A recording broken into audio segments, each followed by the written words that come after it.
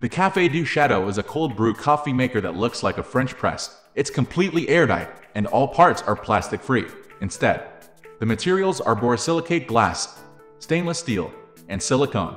To see if the Café du Chateau could live up to its fancy name, we put it through our cold brew coffee testing procedures. See for yourself how it performed.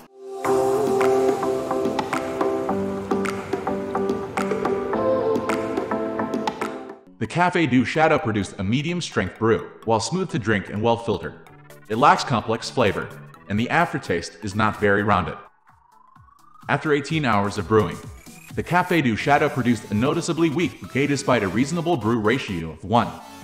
8. The bouquet did, however, overall, there was very little complexity and sweet notes were indiscernible. Considering the brew ratio, we diluted the concentrate with 1 part water to 1 part coffee. The final serving was smooth to drink, but the aftertaste was neither rounded nor satisfying. It had a defined roasted and somewhat earthy flavor, but lacked character. Overall, the Café du Chateau produced an average to reasonably good brew, but it didn't excite.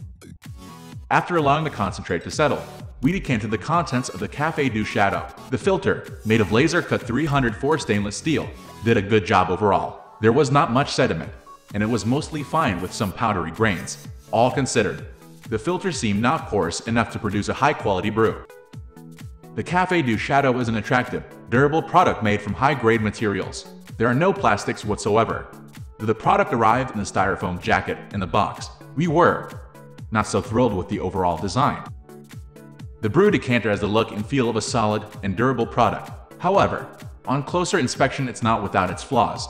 For one, we found it a bit on the heavy side even when empty. We filled the decanter with water to test pour it, and it poured rather heavily. It also felt unbalanced, and the grip was somewhat slippery. The manual says the glass decanter can detach from the stainless steel sleeve, but it was difficult to do. So we left this for the cleaning stage.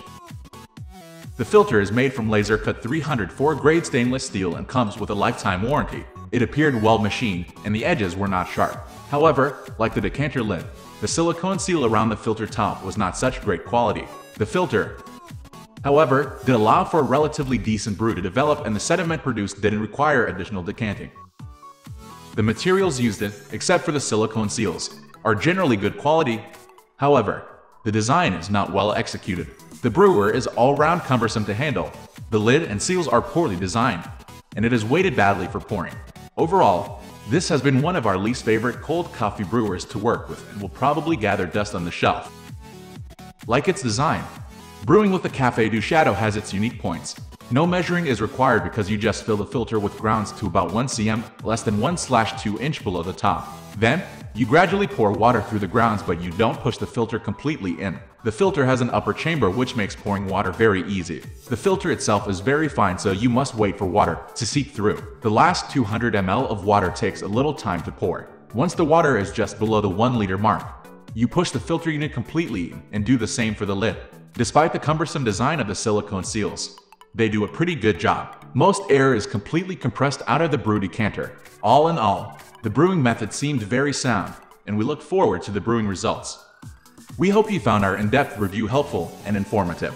Comment below if you have any questions about this review or explanation. Thanks for watching.